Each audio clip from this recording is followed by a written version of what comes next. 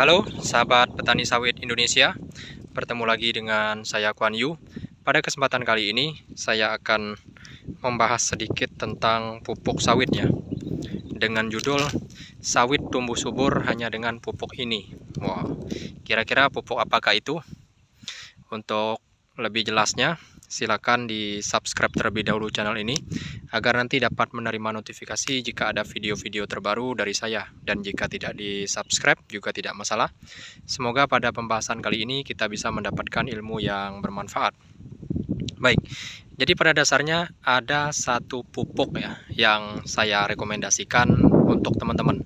Dan sebenarnya satu merek pupuk ini boleh dikatakan sudah lebih dari cukup untuk menyuburkan sawit TBM atau tanaman yang belum menghasilkan.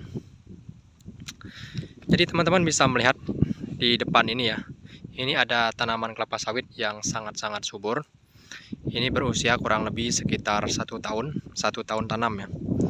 Dan syukurlah pertumbuhannya sangat subur dan sekarang sedang memasuki musim kemarau. Semoga sawitnya bisa tetap subur.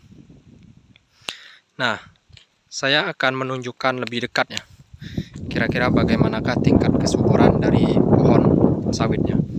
Nah, di depan kita ini ada sebatang pohon sawit yang belum menghasilkan atau tanaman belum menghasilkan. Bisa terlihat di sini ya. Pungkaknya begitu besar. Nah, pungkaknya sangat-sangat besar dan sangat-sangat subur. Sudah mengeluarkan jantung ya. Ini berusia kurang lebih satu tahun tanam. Adapun untuk daun, teman-teman bisa melihat daunnya memang benar-benar super sekali, super hijau, tidak main-mainnya. Bagi teman-teman yang, yang yang bertanya, kira-kira pupuk apakah yang digunakan? Jawabannya pupuk NPK DGW yang 15 15 15.